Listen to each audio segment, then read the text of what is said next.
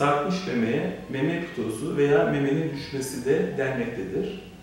Sarkmış meme, meme cildinin elastikiyetini kaybetmesine veya meme dokusunun elastikiyetini kaybetmesine veya her ikisine bağlı olabilmektedir. Bu durumda memeyi oluşturan bu dokular gevşer. Buna bağlı olarak memenin şekli değişir. Yer şekline bağlı olarak meme dokusu deriyle beraber aşağıya doğru sarkar. Memenin üst kısmı adeta boşalmış bir görünümdedir. Aşağıya ve yanlara doğru bütün doku taşar. Özellikle meme başının aşağıya doğru sarkması bu pitozun çok ağır olduğunu gösteren bir e, kanıttır.